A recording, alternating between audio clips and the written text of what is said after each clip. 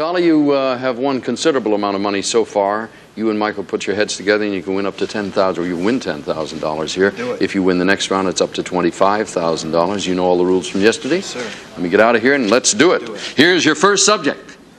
Go. Moses, Mount Sinai. I'm sorry. We'll explain it later. I'm really cool. I'm a character on Happy Days. Fonzie, what the font says. The sinking of the Titanic. Disasters. Marilyn Monroe. Carol Channing. Set blondes. The plunger.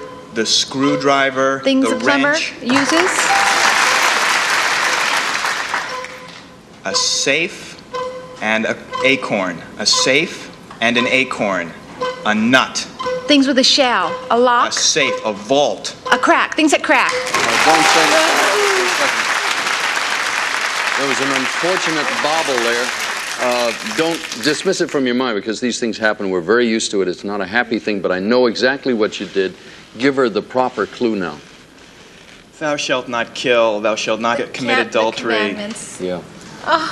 If it had been things, Please, please, turn the other cheek. Turn the other cheek. if it had been things associated with the Ten Commandments, you would have been all right. but it was just a quick what- thought, and you bang out with the the Moses thing. I'm sorry about that, but you did win a lot of It's money. all right. The Three, rest of them are five, great. six, It's all seven fifty, and Next two. time. Is that a thousand dollars? Holy mackerel! We'll be right back.